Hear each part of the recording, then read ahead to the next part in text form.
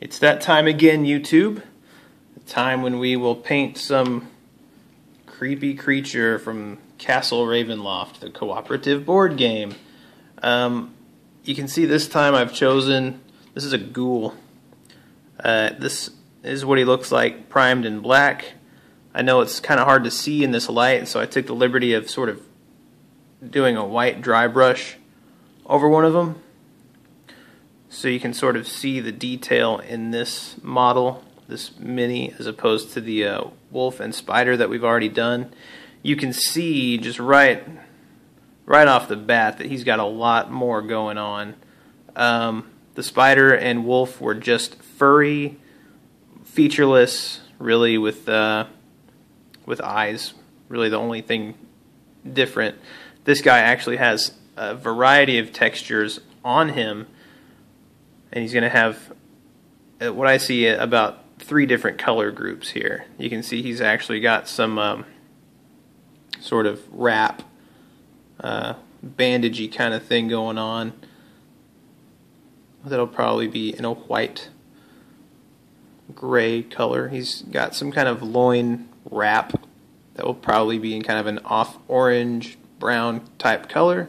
And then, of course, his skin which I'm going to do sort of a the slate green color that I was using on my Cryx army initially. And you can see he's chewing on uh, some severed something.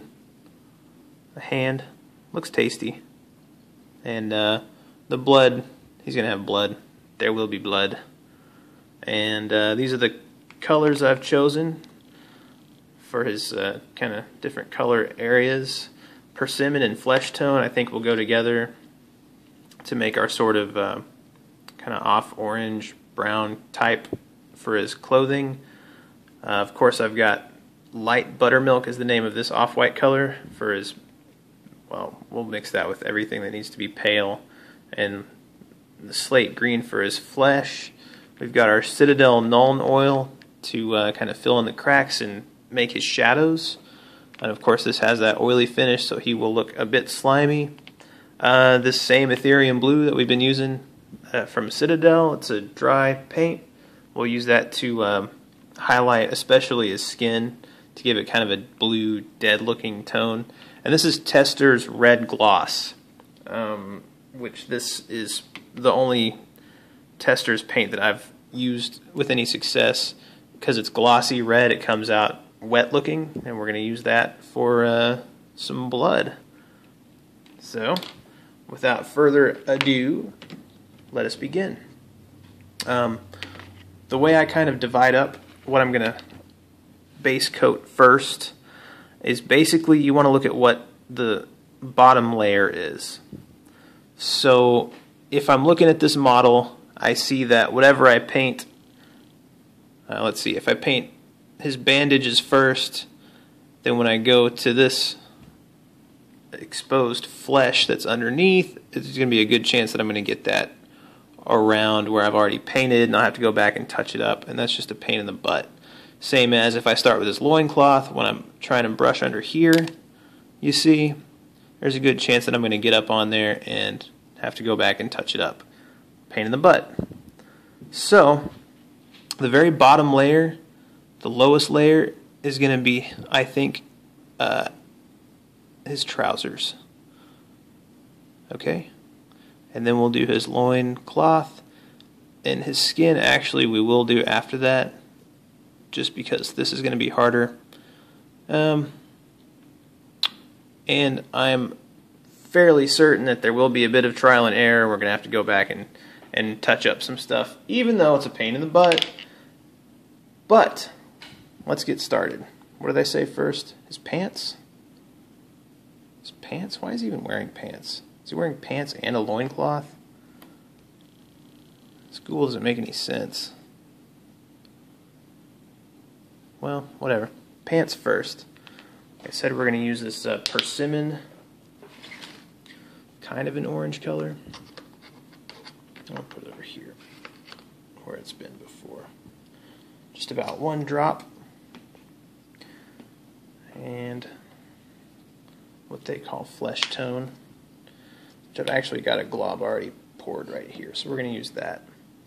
Um, to do the undercoat, this time I'm going to use this number two brush, which is, see here's the one I was using on the other guys.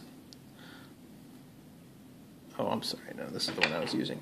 Before I was using a number four brush, which you can see is broader. So with something like this, it's going to be easier to get down into uh, the cracks, and since I don't want it all one color, it's just going to be easier to keep it clean. I'm going to come over here. Oops. I'm going to come over here to the palette. Get a little bit of that brown, a little bit of that persimmon.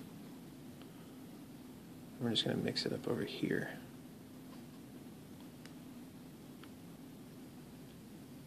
Make sort of a non-color.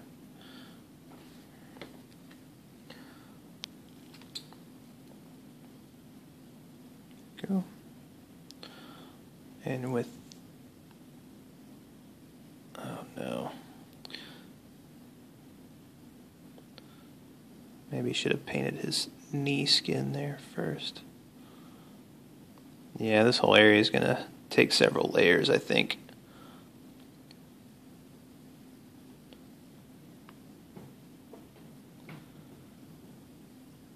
And uh, I know I haven't been really teaching this so far, this video, but whatever plan you make, I mean, you've got to kind of have an open mind when you go into actually painting. Oops.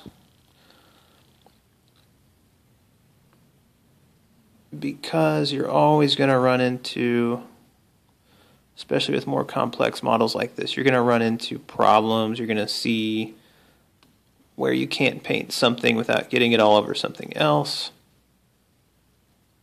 And that's okay.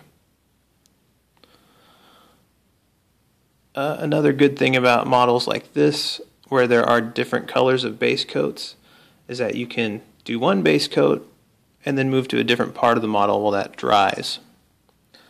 So you're kind of doing all your base coats simultaneously.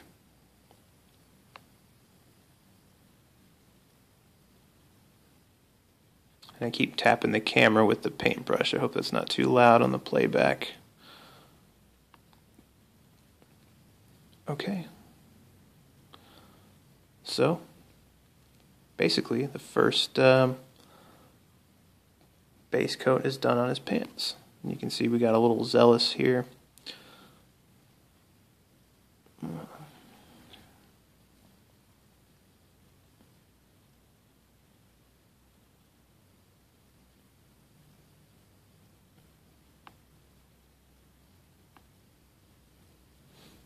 Mm, I'm running out of the paint we mixed up.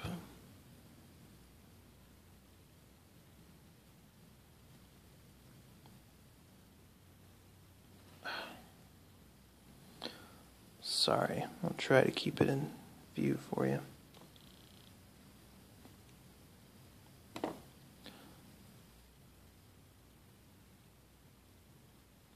And I'm going to try not to worry too, too much about getting it perfect because this is just the first base coat.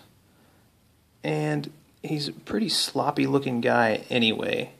So if any sloppiness kind of goes into the model, I think it will look more natural.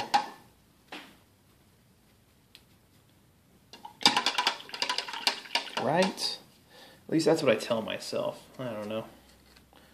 How are we looking for time? I'm at nine minutes already. Um, no worries. We're going to press on. For his skin, as indicated, I don't need white. We're going to use this slate green. I love this color. Absolutely love this color. I was using it on my Cryx army.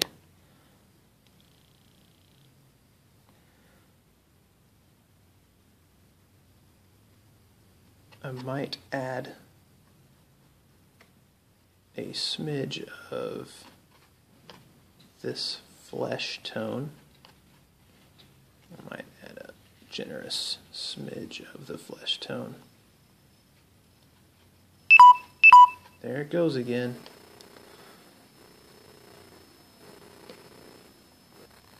No worries. We're going to start filling him in.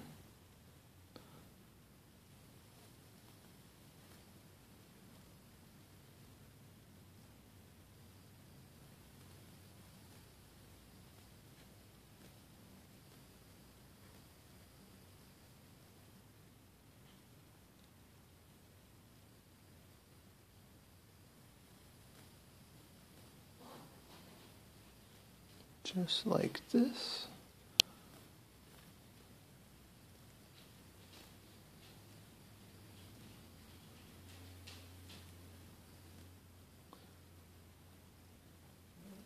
I've got a dog over here looking at me. I think she's about to ask to go outside. There she goes. You hear that? What do you want? Well, I think you get the picture for now on the base coat. Um, on the loincloth here, I'm just going to use, uh, what did I say? I don't know. Did I plan for the loincloth? Hmm. I think the loincloth should be the same color as his pants. Right? And we'll let them run together. And that'll just make it really easy. And if we don't like it when we're done, we can just go over the loincloth in a slightly different color. Okay? So I'm going to finish up this. And when you see us again, we'll have his loincloth and his skin all with a base coat, and my dog will have gone outside and she will be happy again. Till then, YouTube, learn something, have fun.